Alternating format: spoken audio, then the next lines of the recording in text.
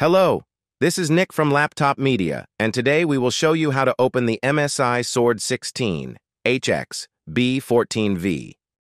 To open this device, you have to undo 13 Phillips head screws.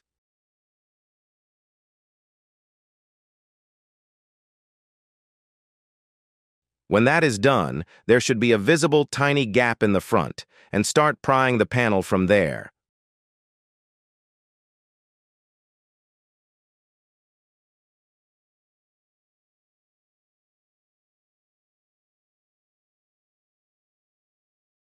Pop the sides until reaching the far end of the exhaust vents.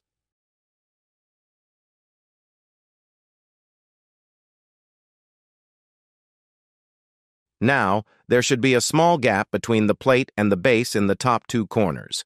Pry the rear by sliding the plastic tool carefully.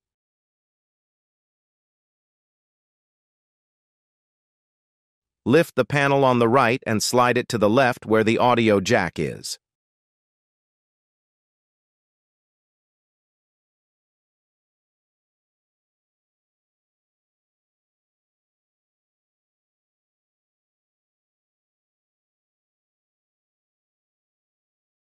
This notebook has a 65 watt-hour battery. If you want to remove it, detach the connector from the motherboard and undo the four Phillips head screws that fix the unit to the chassis. The capacity is enough for 5 hours and 18 minutes of video playback. To achieve that, you have to apply the Silent preset and the Display Power Saver function in the MSI Center. Also, the MSI Hybrid Graphics mode has to be turned on and the Balance mode should be selected in the BIOS in the User Scenario section. The Best Power Efficiency preset is also activated in the Windows Power and Battery menu. The Adaptive Sync Plus option is turned on in the Intel Graphics Command Center.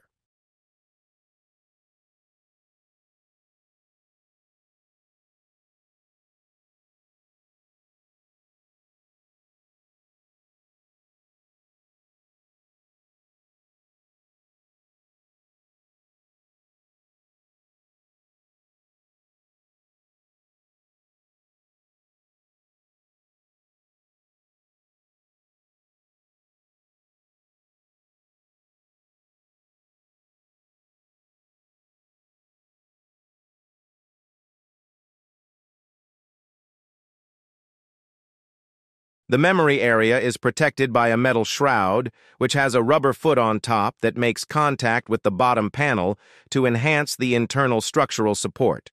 You can lift the metal cap with a lever tool.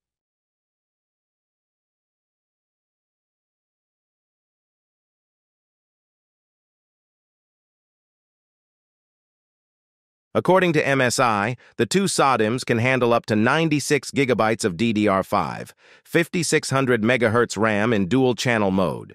However, since the CPU can support up to 192 gigabytes, this laptop likely wouldn't have issues running a larger amount of memory than the official manufacturer's specified limit.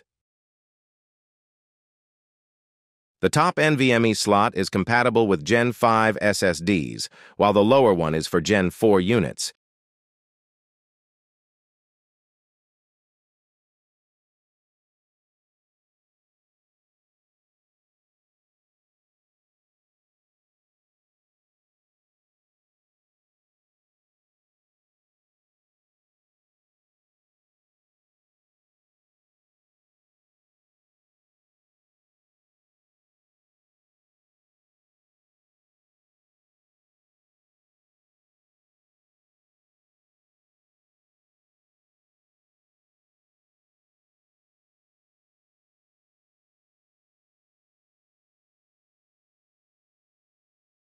We can spot a big thermal pad for each M.2 slot, which is good.